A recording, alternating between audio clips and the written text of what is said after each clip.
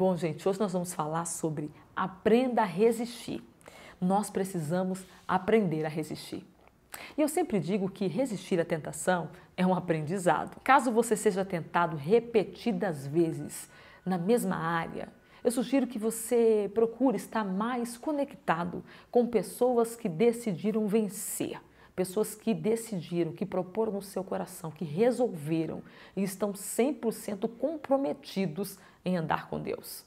Nós precisamos nos relacionar com pessoas que se relacionam com Deus, pessoas espirituais, procuram andar com pessoas espirituais, pessoas de sucesso, procuram se relacionar e se associar com pessoas de sucesso. Você sabia que as suas amizades revelam quem você é? Nós lemos Mateus, capítulo 4, e também Lucas, o capítulo 4. Nós temos alguns pontos contundentes em relação a como aprender a resistir com o nosso modelo maior, Jesus Cristo. O primeiro ponto é que Cristo era 100% humano.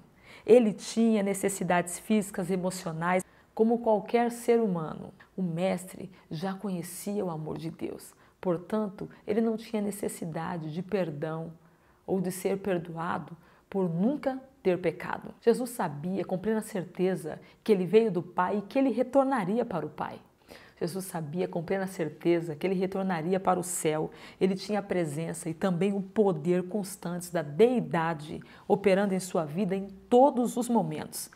Mesmo com essas necessidades supridas, Jesus precisava de alimento, de água, de ar, segurança e ele também precisava de abrigo. Jesus tinha necessidade de comunhão humana.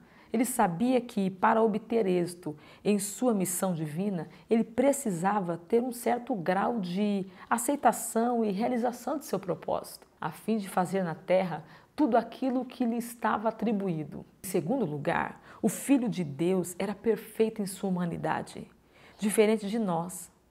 Nós nascemos com uma natureza pecaminosa, Jesus não.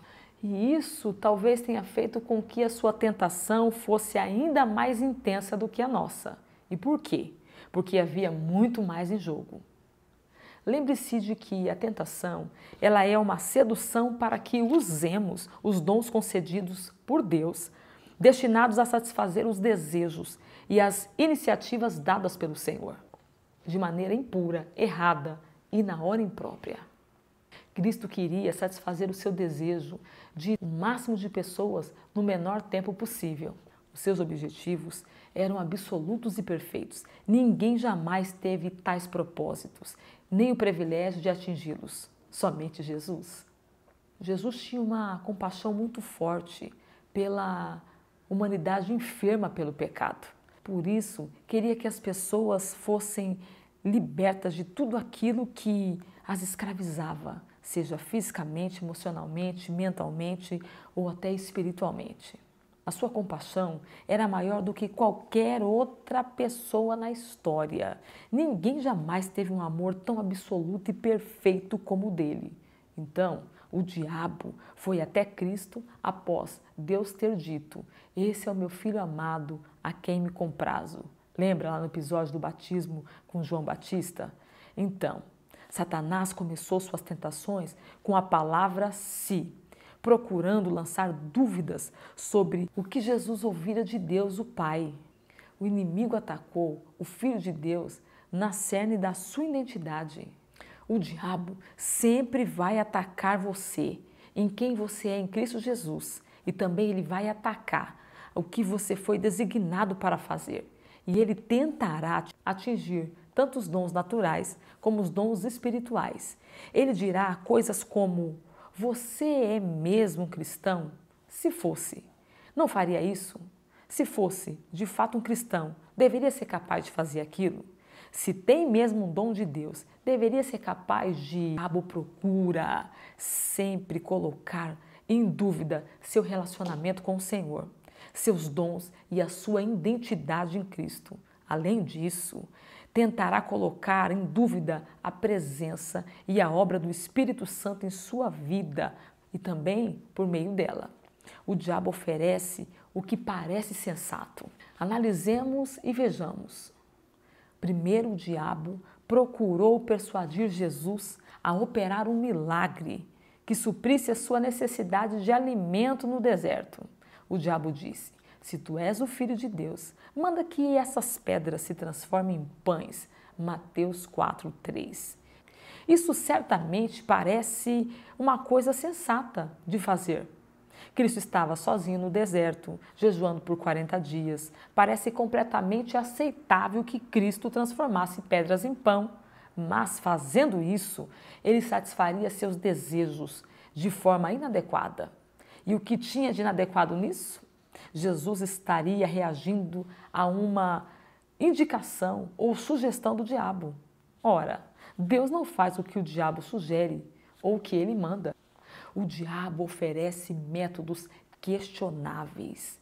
Depois, ao apelar para a necessidade de Jesus de ter discípulos, Satanás tentou jogar-se no pináculo do templo, que ficava a 100 metros de altura, e chamar a atenção para si, ao fazer um grande milagre que poderia prender a atenção e a imaginação de todos. Essa tentação, ela representava uma metodologia questionável, uma vez que o diabo estava tentando Jesus a cumprir seu propósito na terra por meios rápidos, excêntricos e irrefutáveis. A metodologia, entretanto, não cumpriria as escrituras.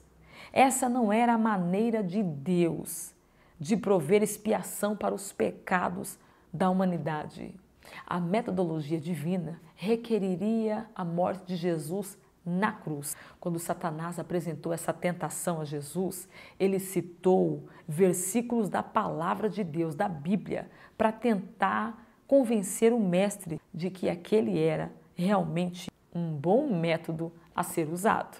O diabo disse: Está escrito, aos seus anjos dará ordem ao teu respeito para te guardar, para te tomar em suas mãos, para que nunca tropeces em alguma pedra. Mateus 4,6. O inimigo estava citando o Salmo 91, versos 11 e 12, citando para Jesus. Há momentos em que o diabo pode trazer à sua lembrança um versículo das Escrituras ou algo dito por alguém piedoso para reforçar a tentação dele. Ele usa versículos isolados para retratar do melhor ângulo o método oferecido por ele. O seu propósito é gerar dúvida, confusão e questionamento.